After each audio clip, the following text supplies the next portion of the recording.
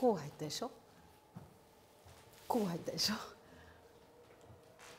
それできてないのねみんなね。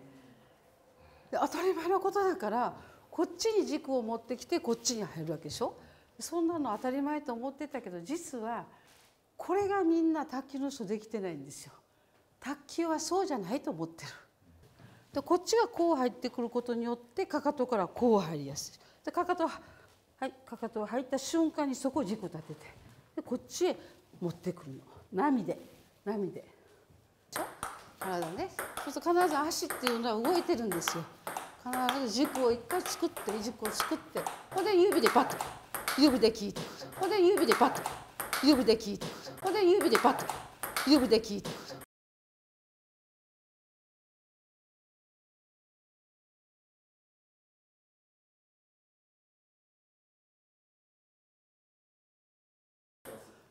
とこう瞬間にこうパッと指をかせて最後の瞬間。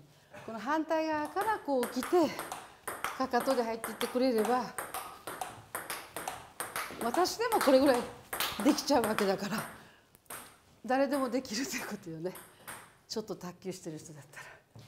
もう全部どこも力入ってない。こんな力入らなくて済むでしょ。これ全部そういうあの体の使い方が自然体でやってるからなんです。